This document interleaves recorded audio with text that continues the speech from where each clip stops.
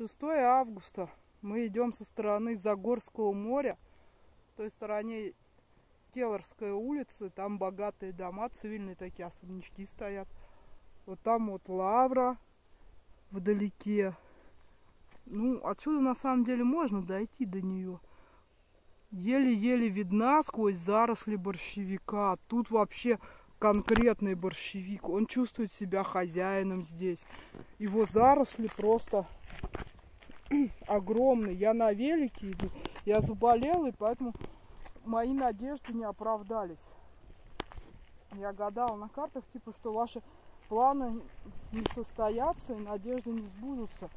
И так и получилось. Я заболела, и мои надежды покупаться в Загорском море совсем-совсем не оправдались и не сбылись. Смотрите, какие тут борщевики вообще. Такая дорога, машины едут. Солнце светит жарко. Я бы искупалась, если бы была здорова, но я болею.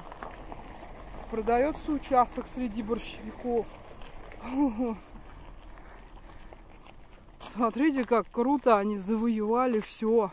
Всю улицу они, короче говоря, забрали себе. Это натуральная улица борщевиков. За ними поле, ну, лук. Не поле, а лук. То есть поле, на котором ничего не растет, кроме травы. И борщевики, борщевики, борщевики. Просто. И смотрите, у каждого борщевика есть огромный зонт, полный семян. И эти семена он готов щедро, короче, всыпать на землю, чтобы новые борщевики изобильно выросли. В общем, вот такое дело.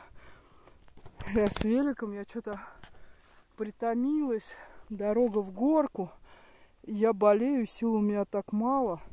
Короче говоря, я еле-еле иду вообще. И тут эти... Это борщевиковая улица. Вот, смотрите, даже на поле не выйдешь, потому что все в зарослях борщевика. Он прям как такой какой-то тоннель. Но это ужасно. Блин, я кашляю. С ним надо что-то делать, но с ним никто ничего не делает, потому что многим кажется, что он типа охраняет дач. Он охраняет их до поры до времени, потом он их занимает сам. Вот. Эти дачи. Тут машина такая сильная паркуется. Тут вообще дома такие не дешевые. Вот. В общем, этот борщевик, он до поры до времени огораживает и охраняет, а потом сам все и забирает себе под свои растения громадные. Он уже вянет, потому что уже время его прошло, но он успел вырастить семена, и на следующий год его будет больше. В общем, все больше и больше и больше. Я помню, три или четыре года назад я шла по этой дороге к тому же Загорскому морю. И гораздо меньше было этого противника. А сейчас его дофига. Фу, тут то и дело ездят машины, но дорога очень плоха. Я. Вот. И я даже не рискую тут сесть на велик по такой дороге, чтобы не растрястись. Тут нужен внедорожник. Я не знаю, фу, прям так пахнет. Я не знаю, как тут жить без внедорожника. Машин что-то много стало. Такие вот дела. Опять у меня что-то с ногой.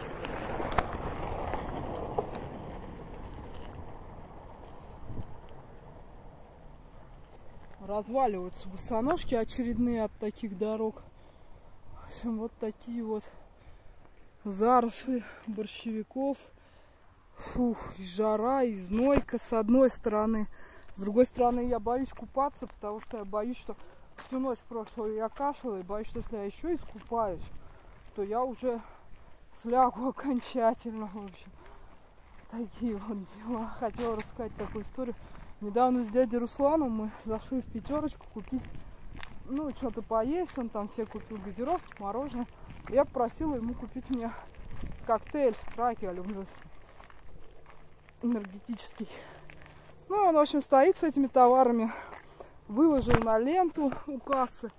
короче, стоит, ему это все пробивает, пробивает. А банку, хоп, так и отложили. И продавщица такая у него спрашивает, говорит, а у вас, он говорит, есть 18 лет? Он говорит, ну есть. А ему говорят, а покажите паспорт. Он говорит, ну у меня нет с паспорта, я же, говорит, на дачу приехал там с паспортом, что ли, ездить на дачу. Тут милиции-то нет, какая тут милиция, тут один, блин, борщевик растет. Вообще, в помине тут нет никакой милиции. А ему говорит, нет, вы, говорит, не выглядите так, как будто вам есть 18. Мы, говорит, вам коктейль алкогольный не продадим, потому что, говорит, вам нет 18. Блин, я говорю, давайте я тогда куплю. Я говорю, мне-то есть 18. Они такие посмотрели, говорят, ну да. И мне продали. Мне так обидно стало, значит, дяде Руслану коктейль не продали, потому что ему типа нет 18, а я типа уже старая, мне 18 уже есть, и коктейль можно продавать. Походу реально я выгляжу намного старше дяди Руслана, раз уж, короче, ему не продали коктейль, а мне продали. И мне прям так неловко стало. Я говорю, дядя Руслан, почему ты мне не сказал, что тебе нет 18? Меня же теперь могут посадить из-за тебя. Уже сколько учительниц бедных пострадало из-за секса с учениками. Меня сейчас тоже привлекут. Я говорю, ты должен был мне сказать заранее, что тебе нет 18 лет. Я говорю, должен был предупредить. Я говорю, зачем ты мне врал, что тебе есть 18? Ну, такая, посмеялись, все ушли, ну, какой-то осадочек такой неприятный остался. То есть, походу, я реально, я не только реально старше него, но я и выгляжу старше него. Вот, ну, как бы, что есть, то есть, из песни слов не выкинешь.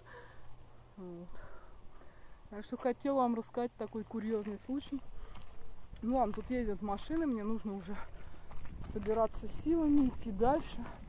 Тут особо даже на обочину не зайдешь, потому что на обочине борщевик. Вот.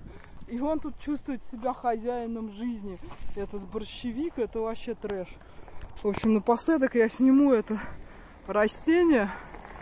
Вообще исполинское просто. Я говорю, у него стебли толщиной, как мои руки. У него вот эти зонты огромные. И он беспрерывно растет и размножается. В общем, короче говоря, если срочно не принять какой-то меры к нему, в скором времени тут просто будет уже не пройти и не проехать из-за этого борщевика. Потому что с каждым годом его становится все больше, больше и больше. Вот. И он появляется вот даже на полях Буженинова, я уже вижу молодые растения. То есть там, где его испокон веков в помине никогда не было, он все равно там появляется. То есть ветер, видимо, приносит семена, и они начинают расти. Вот. Такие вот дела, в общем. Такое вот растение тут растет. Вот. Так вот, в общем, с вами была Марина Морлок. Спасибо, что меня смотрите. Я рада видеть новых подписчиков. Вас уже больше 500, ребят. Я вас поздравляю. Спасибо всем, кто мне пишет комментарии. Тем, кто мне ставит лайки, антилайки. Всем я передаю привет. Желаю удачного лета. И я читаю все комментарии, но я не на все отвечаю. Сейчас пока я в отпуске, я в основном в своем, конечно, гуляю, где-то время провожу на улице, поэтому в меньшей степени я уже смотрю комменты, во-первых. Во-вторых, у меня даже особо нет времени, чтобы постить видео, потому что я их не обрабатываю, но все равно, прежде чем их запостить, мне их нужно просмотреть, прослушать, а потом уже разместить. Поэтому видео может быть пойдут несколько в разнобой. То есть я, наверное, сегодня или завтра, то есть течение нескольких ближайших дней выложу вот эти последние видосы, чтобы вы были в курсе, что у меня отпуск, я отдыхаю, вот. А потом уже все остальные, там, может быть, более ранние, более, так сказать, старые. Вот, в общем, такие вот дела. С вами была Марина Морлок. Спасибо всем за то, что вы меня смотрите. Ребята, я очень рада, я люблю всех своих подписчиков. Всем счастливо и всем пока-пока. Желаю удачного лета. Избегайте вот этого растения. Оно вызывает ужасные ожоги.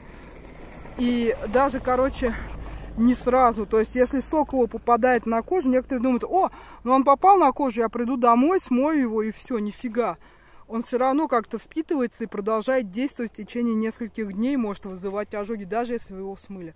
Так что будьте осторожны, вот, лучше вообще его не трогать. Вот, вот не подходить, не заходить в эти заросли и вообще просто не касаться. Хотя, конечно, желание касаться очень велико. Вот, такие вот дела. Ну ладно, спасибо всем. Вот. Подписывайтесь на канал, пишите комментарии. Всем счастливо, пока-пока. И наслаждайтесь этим летом, наслаждаться осталось уже недолго. Скоро лето закончится.